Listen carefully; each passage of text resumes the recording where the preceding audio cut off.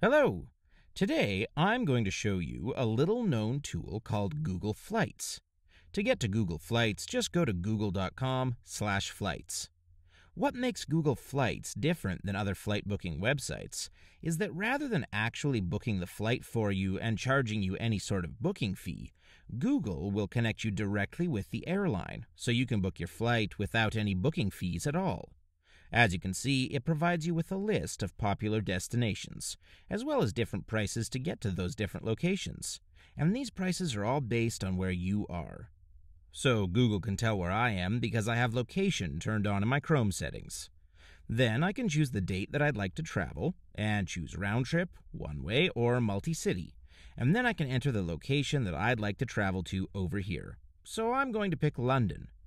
Then it returns all my different flight options, as well as showing me which airlines I would be flying. So the cheapest option will always be highlighted in green, so I'm going to choose this flight.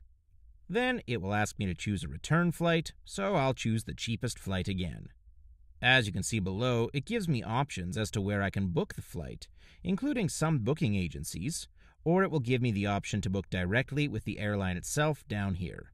In some instances, it will actually be cheaper to book through one of the booking agencies. But what's really great about this method is the free method of finding the cheapest flight, which is also done in an ad free and very clean interface. So the next time you're thinking of heading off on vacation, I really suggest looking at Google Flights, as it's a much easier way of finding the best deals than using any of the existing booking sites, in my opinion. Thanks very much for watching. If you have any questions, just let us know in the comments section below. Thanks again, and have a great day.